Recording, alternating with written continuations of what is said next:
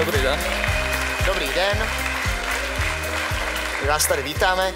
Eh, Máme eh, pro vás dneska takovou nabídku. Jste úplně první, na kom, na kom to vyzkoušíme.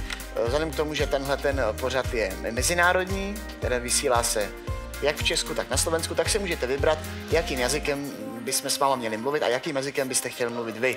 Máte volbu mezi češtinou, slovenštinou, po případě maďarštinou. Slovenčinu jedničku. Slovenština. Aké je vaše jméno? Zdenek Socha. Odkiaľ jste přišel?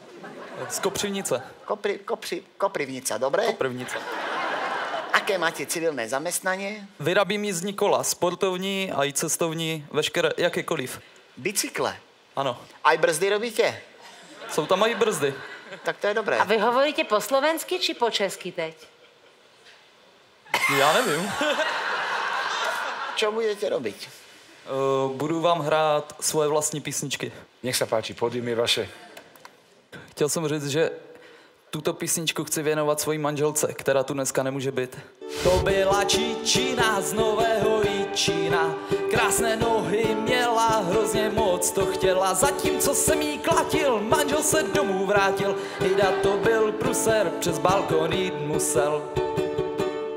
Vzal jsem si taxika a valil domů. Po chvíli volala, kdy dáme znovu. Vůbec jsem neváhal a řekl zítra. Hospodě na kuráž objednal bítra. Sloka číslo To byla 44. Čičina z Nového Jičína.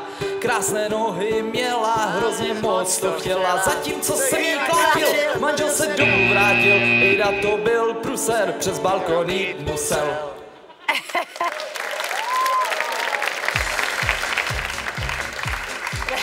Ja by som sa tých bicyklov nevzdával.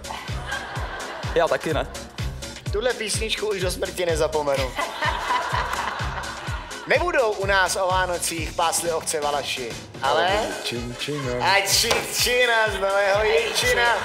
Do toho bude vonět purpur a zapálený František. Prostě tak Vánoce, jak mají být. Zpívali si to svoje manželke? Ano, samozřejmě. A páčilo sa? Jí se to líbí. Poďme hodnotiť. Napriek vášmu krásnemu príspevku pre cyklistiku v Československu musím povedať nie. Bol ste veľmi zábavný, uh, milý, tak já dám uh, nie. Já taky říkám ne. No a na mě už nezáleží. Tak já vám děkuji moc. Ďakujeme, My taky děkujeme, pane Nashledanou. Byla to Čičina z Nového Jičina. Když jsem jí krutě klátil, manžel se domů Dom vrátil. Byť tebou, zmijem to jedným severným vetrom. Já mám v hlavě Čečinu, severní vítr teď ne.